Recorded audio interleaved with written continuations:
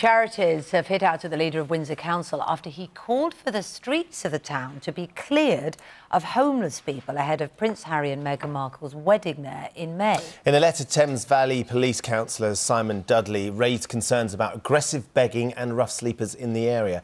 Our correspondent Nick Dixon is in Windsor for us this morning. Morning to you, Nick. So there's been widespread anger at these remarks, hasn't there?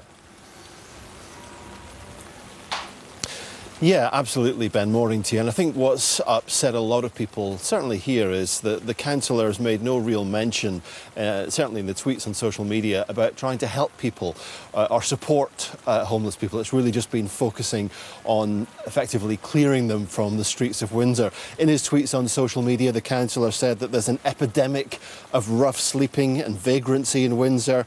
I'll be writing to Thames Valley Police asking them to focus on dealing with this before the royal wedding. It's largely vagrancy, he said, and begging grace, people marching tourists to cash points to take money out. Now, Thames Valley Police have responded uh, directly to this on social media.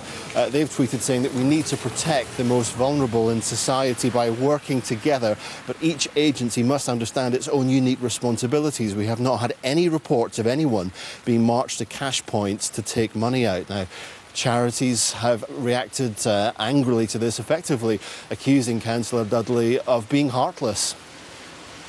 Despicable, disrespectful, um, use any word you like. Uh, in a time that we live in, uh, to be bringing something like the Vagrancy Act 1824 up, which is common law, it's got no place in today's society, and the councillor should be ashamed of himself.